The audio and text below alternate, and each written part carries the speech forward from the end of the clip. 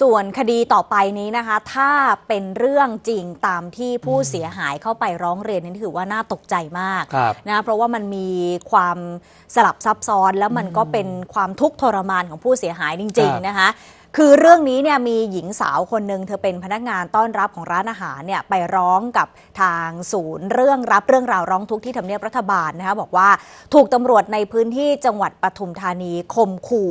เรียกรับเงินกว่า 3 0 0แสนบาท อันนี้คือแบบเจ็บช้ำแล้วอย่างหนึ่งอ่าอีกอย่างหนึ่งเธอครับบอกว่ามีการถูกล่วงละเมิดทางเพศด้วยอ้าว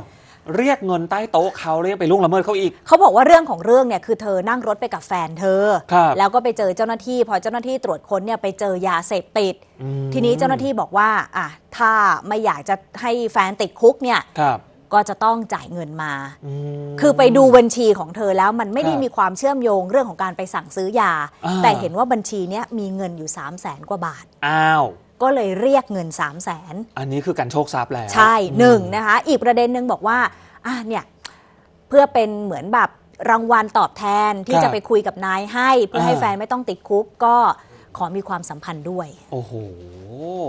อันนี้เข้าข่ายพรบอุ้มหายเหมือนกันนะ นี่นะอืมนี่นะคะ อันนี้คือสิ่งที่ผู้เสียหายเข้าไปแจ้งเนี่ยนะคะ เพราะฉะนันถึงบอกว่าถ้ามันเป็นไปตามนี้จริง ๆ มันก็คือความเจ็บปวดจริงครับๆนะคะ ประเด็นที่เกิดขึ้นเนี่ยทางคุณเอกภพเหลืองประเสริฐที่ปรึกษารัฐมนตรีว่าการกระทรวงมหาดไทย ผู้ก่อตั้งเพจสายใหม่ต้องรอด ก็เลยพาผู้เสียหายเข้าไปร้องเรียนผ่านนายกองตรี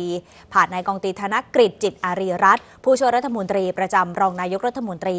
กล่าวหาตำรวจ7นายในจังหวัดปทุมธานีค่ะ เรียกเงิน 3 0 0แสนบาท แลกกับข้อหาครอบครองเคตามีน แล้วก็บอกว่ายังมีการพาเธอเนี่ยไปล่วงละเมิดทางเพศ แล้วก็ขู่จะเรียกรับเงินเพิ่มอีก 30,000แลกกับค่าเจรจาให้กับ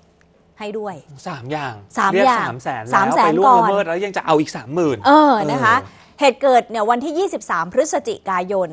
เธอบอกว่าผู้เสียหายเนี่ยนะคะ เป็นหญิงสาวกับแฟนหนุ่มเนี่ยถูกตรวจค้นที่หน้าร้านอาหารย่านคลอง 5 พบเคตามีนไม่ถึงกรัมในรถค่ะ แต่เจ้าหน้าที่เนี่ยอ้างว่าแม้ของกลางจะเป็นของแฟนหนุ่ม แต่ก็ถือเป็นความผิดร่วมกัน หลังจากนั้นก็เลยพาทั้งสองคนเนี่ยแยกขึ้นรถไปคนละคันเพื่อไปสอบสวน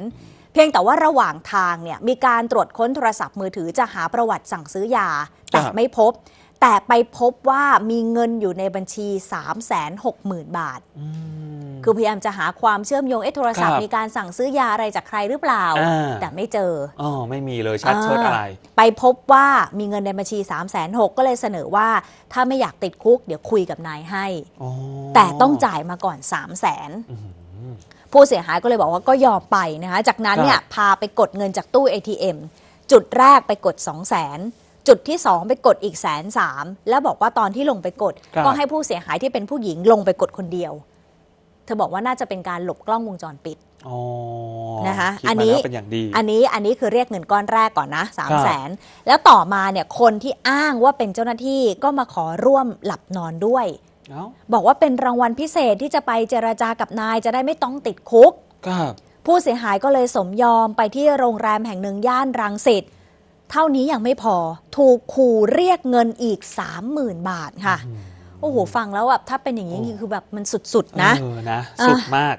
ทีนี้ตัวแฟนหนุ่มค่ะครับแฟนหนุ่มเนี่ยถูกส่งตัวไปดำเนินคดีที่สพธัญบุรีฮะข้อหาครอบครองยาบ้า 2 เม็ดตำรวจเนี่ยอ้างว่า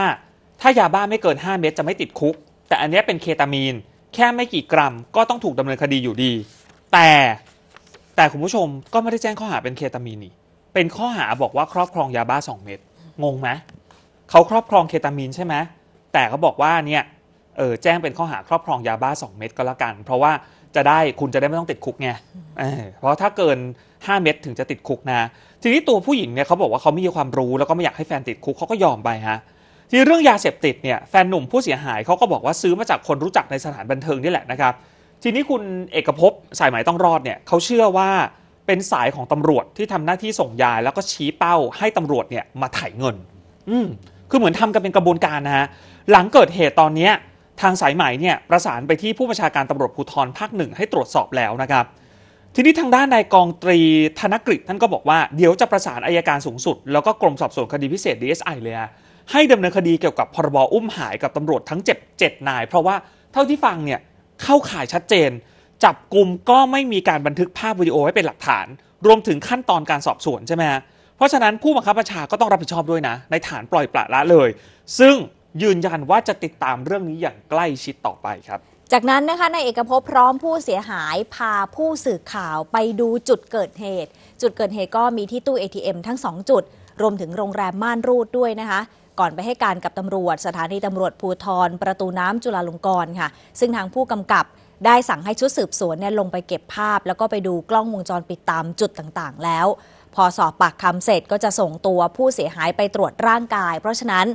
คดีนี้เนี่ยจะต้องแยกออกมาเป็นคดีเรียกรับสินบนหนึ่งครับข่มขืนกระทำชำเราด้วยนะคะอีกหนึ่ง ยืนยันกับผู้เสียหายว่าไม่ต้องกังวลครับไม่ว่าเป็นใครถ้าทำผิดก็ต้องถูกดำเนินคดีนะคะอันนี้เป็นช่วงที่เนี่ยค่ะ ผู้เสียหายก็พาไปดูจุดต่างๆเนี่ยนะคะจริงๆน่าจะต้องโดน 157 อีกข้อหนึ่งด้วยนะออ ละเว้นละเว้นนะอืมอืมล่าสุดนะคะพลตำรวจโทจิรสารแก้วแสงเอก ผู้บัญชาการตำรวจภูธรภาคหนึ่งสั่งการให้ตำรวจภูธรจังหวัดปทุมธานี มีคำสั่งให้ผู้ที่ถูกกล่าวหาก็คือตำรวจเนี่ยนะคะ ไปช่วยราชการที่ศูนย์ปฏิบัติการตำรวจภูธรจังหวัดปทุมธานีแล้ว นอกจากนี้ให้ดำเนินการทางวินัย โดยตั้งคณะกรรมการสืบสวนข้อเท็จจริง ถ้าพบว่ากระทำผิดจริง ก็จะพิจารณาลงโทษทางวินัย แล้วก็ดำเนินคดีอาญากับผู้กระทำผิดทุกรายค่ะ